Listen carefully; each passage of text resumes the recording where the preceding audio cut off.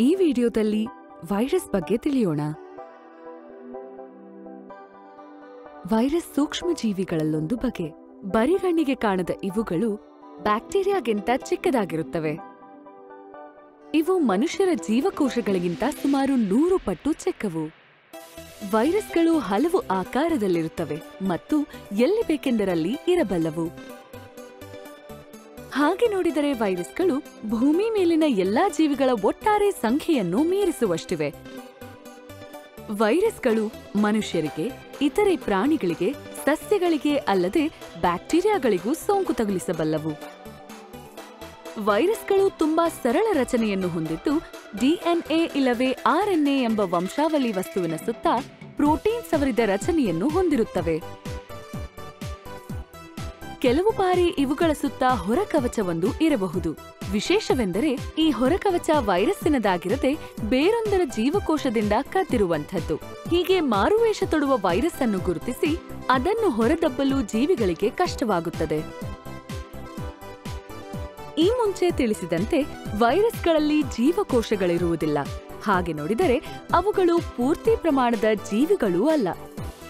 ಅವುಗಳ ಸ್ಥಿತಿಯನ್ನು ಜೀವಿಗಳು ಮತ್ತು ರಾಸಾಯನಿಕಗಳ ನಡುವಿನದ್ದು ಎನ್ನಬಹುದು. ಅವು ಜೀವಿಗಳಲ್ಲವಾದ್ದರಿಂದ ಅವುಗಳ ಗುಂಪನ್ನು ಬಗೆಗಳು ಎನ್ನುತ್ತೇವೆ ಹೊರತು ತಳಿಗಳು ಎನ್ನುವುದಿಲ್ಲ. ವೈರಸ್ಗೆ ಕೆಲವು ಉದಾಹರಣೆಗಳೆಂದರೆ ನೆಗಡಿ ತರುವ ಇನ್ಫ್ಲೂಯೆನ್ಸಾ ಮತ್ತು ಎಚ್ಐವಿ ಏಡ್ಸ್. ವೈರಸ್ಗಳು ಜೀವಿಯಲ್ಲ ಅಂದ ಮೇಲೆ ಅವು ಕಾಯಿಲೆ ಹೇಗೆ ತರುತ್ತವೆ? ವೈರಸ್ ಬೇರೆ ಜೀವಿಯ ಜೀವಕೋಶದಲ್ಲಿ ಇರುವಂಥದ್ದು.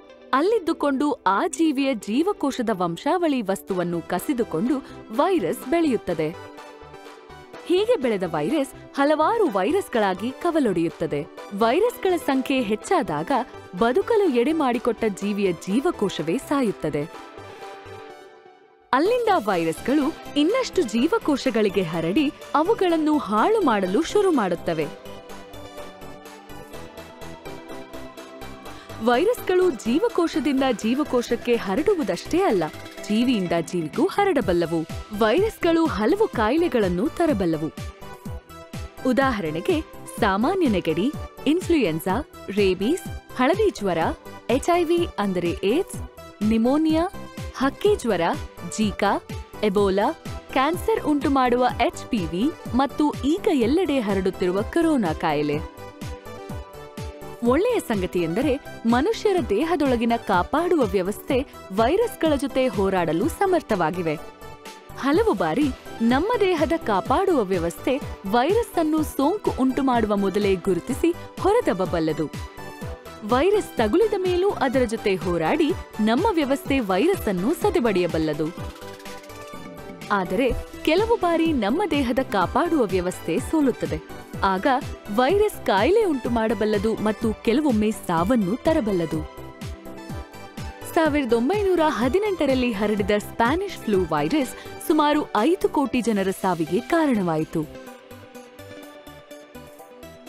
ವೈರಸ್ಗಳ ವಿರುದ್ಧ ಹೋರಾಡುವ ಮುನ್ಮದ್ದು, ಅಂದರೆ ವ್ಯಾಕ್ಸಿನ್ಗಳನ್ನು ವಿಜ್ಞಾನಿಗಳು ಕಂಡುಹಿಡಿಯುತ್ತಾ ಬಂದಿದ್ದಾರೆ. ಈ ಮುನ್ಮದ್ದುಗಳಿಂದಾಗಿ ಸಿಡುಬು ರೋಗದಂತಹ ಕೆಲವು ವೈರಸ್ಗಳು ಕಾಣಿಯಾಗಿ ಹೋಗಿವೆ. ಆದರೆ ಎಚ್ಐವಿ ಏಡ್ಸ್ನಂತಹ ಕೆಲವು ವೈರಸ್ಗಳಿಗೆ ಮುನ್ಮದ್ದುಗಳನ್ನು ಕಂಡುಹಿಡಿಯಲು ಸಾಧ್ಯವೇ ಆಗುತ್ತಿಲ್ಲ. ನಿಮಗಿದು ಗೊತ್ತೇ, ಆಂಟಿಬಯೋಟಿಕ್ ಮದ್ದುಗಳು ವೈರಸ್ಗಳ ಮೇಲೆ ಯಾವ ಪರಿಣಾಮವನ್ನು ಬೀರಲಾರವು?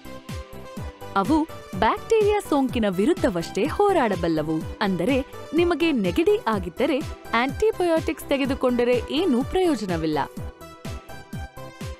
ಕೆಲವು ಆಂಟಿವೈರಲ್ ಮದ್ದುಗಳು ಏಡ್ಸ್ನಂತಹ ರೋಗದಿಂದ ಉಂಟಾಗುವ ಪರಿಣಾಮವನ್ನು ಮುಂದೂಡುತ್ತವೆ. ಹೀಗೆ ವೈರಸ್ಗಳು ಚಿಕ್ಕದಾಗಿ ಸರಳ ರಚನೆಯನ್ನು ಹೊಂದಿದ್ದರೂ ದೊಡ್ಡ ಕಾಯಿಲೆಗಳನ್ನು ತರಬಲ್ಲವು.